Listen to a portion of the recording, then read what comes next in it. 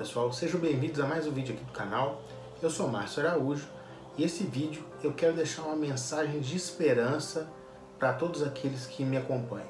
Eu sei que muitas pessoas estão desesperançosas, vendo a humanidade caminhar por um caminho que parece terrível, uma nova ordem mundial para se instalar e todas essas coisas que a gente vem ao longo do tempo estudando e temendo, não é?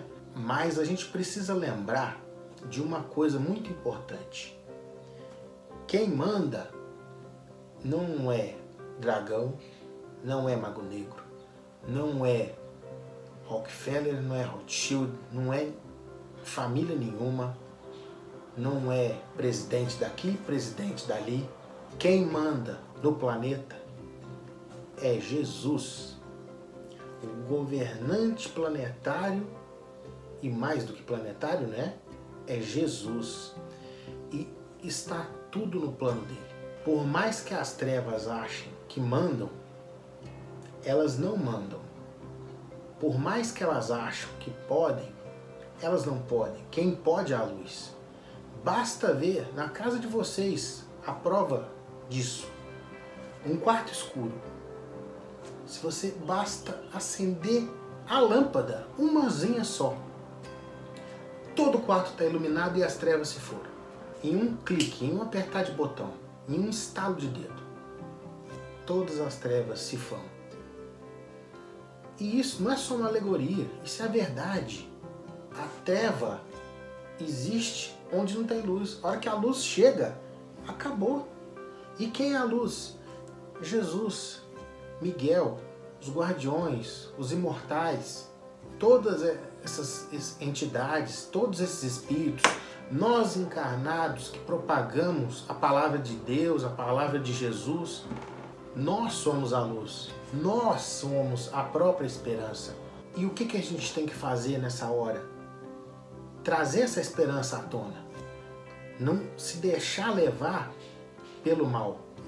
Não se deixar levar pela onda de pessimismo que querem impor até nós. Porque tudo que as trevas querem nesse momento é que a nossa luz se apague.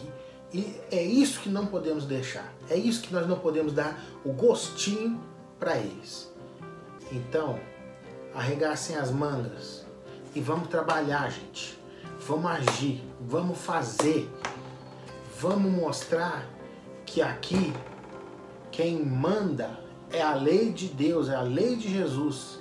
Que o reino de Jesus na terra é o que vai prevalecer, quer eles tentem ou não.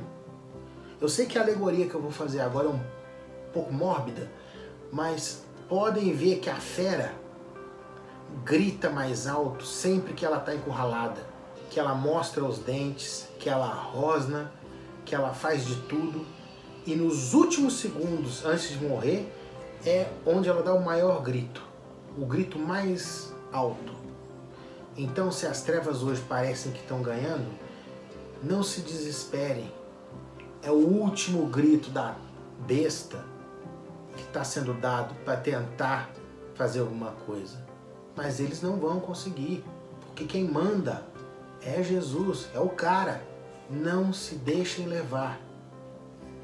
Mas o que, que a gente pode fazer? Onde a gente pode botar luz? Ajuda. Ajudem os outros. Tem muita gente que está precisando de ajuda. Sabe?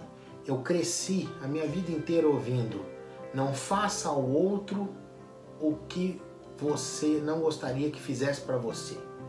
Hoje em dia eu já falo um pouco diferente.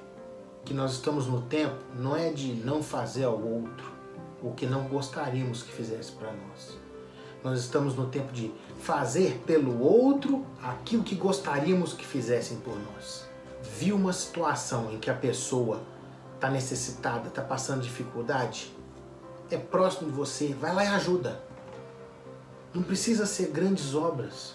Ilumina perto de você, seja a lâmpada do quarto que vai iluminar as trevas ao redor, nesse pequeno pedaço mas se você acender uma lâmpada em cada quarto, a casa inteira se ilumina. Se nós acendermos a nossa lâmpada em cada lugar onde passarmos, e cada um fizer isso, o planeta se ilumina. Então não desistam, por pior que seja o cenário, não desistam. É isso que eu queria falar para vocês.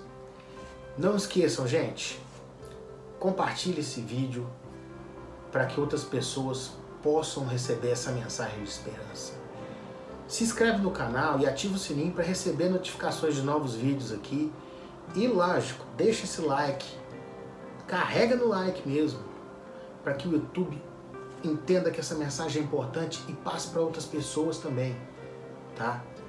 Não se esqueçam disso para ajudar o canal aqui também. Falou, minha gente? Um abraço.